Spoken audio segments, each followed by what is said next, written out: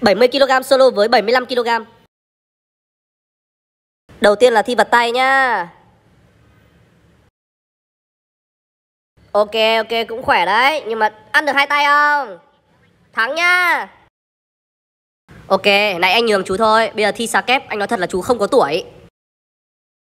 À thế à? Nhìn đây này. Bây giờ ai còn deep xà kép nữa? Bây giờ người ta chỉ chơi là chuối chống đẩy thôi. Mẹ thằng này nhìn nó điên thế nhở? Ai chơi thế bao giờ không? Ok, thôi. Phần chống đẩy này thì anh phải thể hiện sức mạnh thật sự rồi. Chống đẩy vỗ tay luôn nhá. Nào, chơi đi. Ôi, ông anh lại nhà quê rồi. Bây giờ còn ai chống đẩy chân chạm đất như thế này nữa? Chống chân phải không chạm đất. 2022 rồi. Win.